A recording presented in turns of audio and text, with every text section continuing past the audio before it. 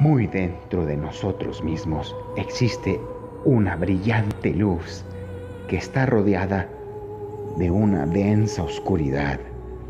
Y lo que sentimos es desesperación, estrés y cansancio.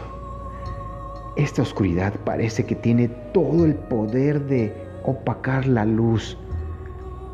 Y nos sentimos con poquita fe y sin esperanza y no logras ver la luz al final del túnel. A veces se siente como si la vida ya se acabó y sin futuro alguno. Pero, pero eso no es la verdad, porque en lo más profundo de nosotros está esa hermosa luz que libera una sonrisa en nuestros rostros, libera nuestras almas a lo grandioso.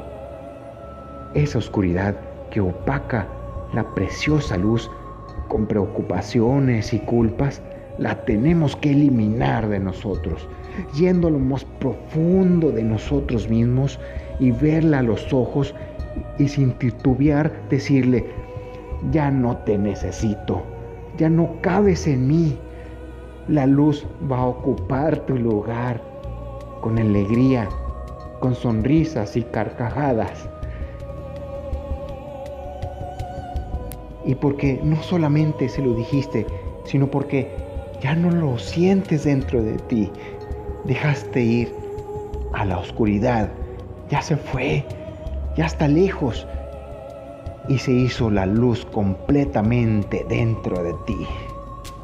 Y ella alejará a toda oscuridad que quiera meterse.